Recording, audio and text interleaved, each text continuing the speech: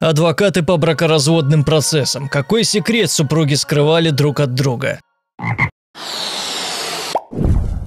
У меня есть приятель, который занимался бракоразводными процессами, и он рассказал мне вот что. В его офис пришел один мужчина и сказал, что нуждается в услугах адвоката. Мой друг тогда только что окончил юридический колледж и был готов взяться за любое оплачиваемое дело. Мужчина с самого начала заявил, что он жертва, что жена ошеломила его подачей заявления на развод менее чем через год после свадьбы. Через несколько недель другу позвонил представитель адвоката жены, чтобы назначить встречу. Приятель подумал, что они хотят пойти на мировое соглашение, что удовлетворило бы его клиента, мужа. Чувак и мой приятель пришли на встречу и, полагаю, все пошло наперекосяк. Выяснилось, что у мужа была куча грязных секретов, которые он по какой-то причине скрывал от своего адвоката. Первое. Сильная зависимость от онлайн-клубнички, которая стоила ему двух приличных работ. Второе. У мужчины были двое детей от другой женщины, о которой он не рассказывал жене, из-за которых он должен был платить алименты. И третье. Последний Последний гвоздь в крышке гроба. Жена подозревала, что муж ей изменяет. Однажды ночью, когда он спал, она проверила его телефон. Мужчина действительно переписывался с другой. И это была 15-летняя дочь одного из его бывших коллег. Помимо прочего, они обменивались большим количеством откровенных снимков. Жене хватило ума заскринить откровенное сообщение, но не фотографии, так как это можно было бы считать распространением детского контента. Когда все это было озвучено, муж стал бледным бледным как призрак, начал обильно потеть. Друг попросил минуту, чтобы переговорить с ним. Он спросил, является ли хотя бы часть этого правдой, но чувак уже не мог говорить, лишь заикался, видимо понимая, что он в жопе. Мой приятель сказал ему, что лучший вариант для него пойти на мировое соглашение с женой и отказаться от своих первоначальных запросов. Когда все было обговорено, чувак просто вернулся в кабинет переговоров и признал свое поражение. Моему приятелю в конце концов пришлось нанять коллег, инспекторов, потому что чувак отказался платить за его услуги добровольно.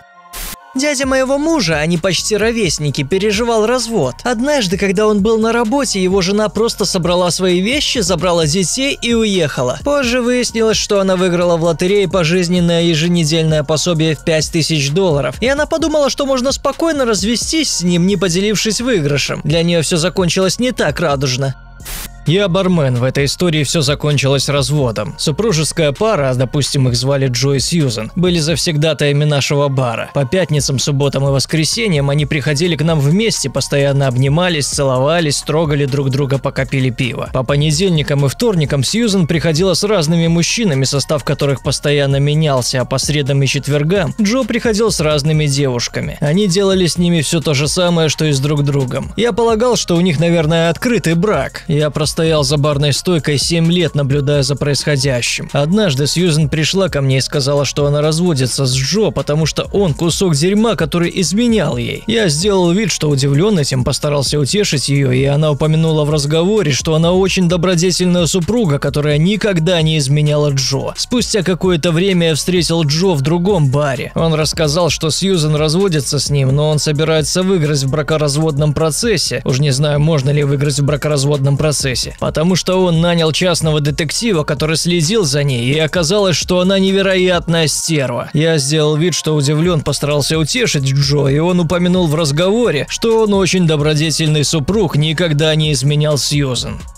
Я не практикующий семейное право, но в начале моей карьеры мой тогдашний босс иногда брал бракоразводные дела по просьбе друзей или знакомых. Время от времени я помогал ему. При любом типе судебного разбирательства стороны обмениваются письменными вопросами для ознакомления. Я рассматривал ответы жены на запросы о раскрытии информации и помогал мужу отвечать на его вопросы. Мы дошли до части, где были вопросы о наличии внебрачных интимных контактов. Муж сказал мне, что недавно встретился с девушкой по вызову. Но не беспокойтесь, это было в Канаде, то есть все в норме. Я лишь кивнул и отметил его ответ. Когда мы просматривали ответы его жены, она упомянула скотоложство как фактор, который привел к разрыву отношений. Я спросил об этом мужа, потому что мне нужно было знать, какие еще проблемы могут всплыть. Он сказал мне, что одним вечером, когда они разошлись, он очень сильно напился, позвонил ей и сказал, что чпокнул козу. Но мне он клялся, что на самом деле он этого не делал. Я собрал в кулак весь свой профессионализм и постарался до конца встречи сохранить серьезное выражение лица. Но я и мой босс потом много лет вспоминали об этом случае и смеялись. Огромные суммы долгов, интрижки, злоупотребление веществами – все это очень часто встречалось среди моих дел в виде секретов той или иной стороны. Настолько часто, что я почти всегда ждал, что что-то эдакое всплывет. Однако есть у меня одна любимая история. Клиентом был пожилой джентльмен, который построил карьеру в какой-то сфере и вышел на пенсию. Его сын был пастором. Все в его деле казалось вполне нормальным в плане дохода, недвижимости и тому подобного. Однако оказалось, что у него своеобразное хобби. Он очень любил смотреть клубничку и боялся, что его жена узнает об этом и использует это против него в разводе. Однако, по причинам упомянутым мной выше, я заверил его, что в наше время это очень распространено и маловероятно, что это на что-то повлияет. Затем клиент спросил, не изменю ли я мнение, если узнаю, что клубничка, которую он смотрит, не совсем обычная. Я спросил, что он имеет в виду, он явно занервничал. Я хотел убедиться, что в этих видео нет детей, поэтому вынудил его во всем признаться. Мужик любил смотреть видео с козами. Во время последнего развода моего отца всплыло, что у его жены был роман на стороне, который длился на протяжении трех ее браков. Роман был с ее первым парнем, который также был ее сводным братом. Ни отец, ни его жена не соглашались на мирное урегулирование. В итоге дело рассматривалось на предварительных слушаниях и дошло до суда. Но мой отец тоже не был ангелом и угрожал ей пистолетом, так что они оба закопали себя.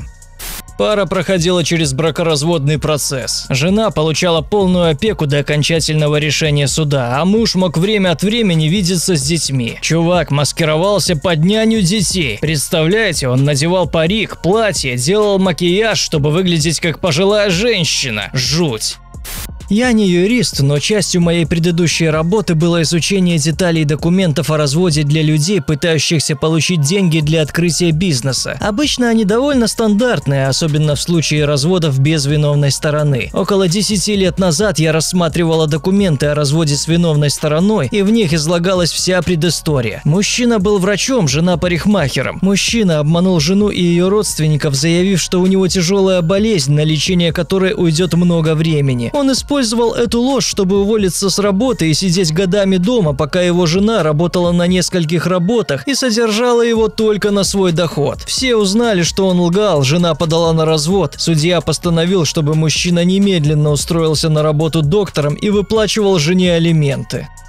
Пара решила развестись. Мужчина начал беспокоиться, что его жена не согласится вернуть обручальное кольцо, поэтому он сказал своему адвокату, что он втайне от жены обменял кольцо на поддельное. Некоторое время спустя адвокат связалась со своим клиентом, и он вдруг попросил ее прекратить работу над делом, потому что мы снова вместе, смеемся. И она спросила у клиента. А вы сказали ей о кольце? Она посмеялась? Но другой случай был еще хуже. Парень не хотел заканчивать отношения со своей девушкой, девушкой, которая капала ему на мозги, пытаясь добиться свадьбы, а он не хотел жениться на ней. Тогда он предложил ей сыграть экзотическую свадьбу на тропическом острове с церемонией по местным традициям, сказав, что это будет очень романтично. И они это сделали. Но на самом деле он просто нанял сотрудников отеля, чтобы они сымитировали процесс заключения брака. Кроме того, никакой брачный контракт не был подписан. Парень умер через несколько лет. Жена вдруг обнаружила, что она не была официально замужем и ее нет в завещании.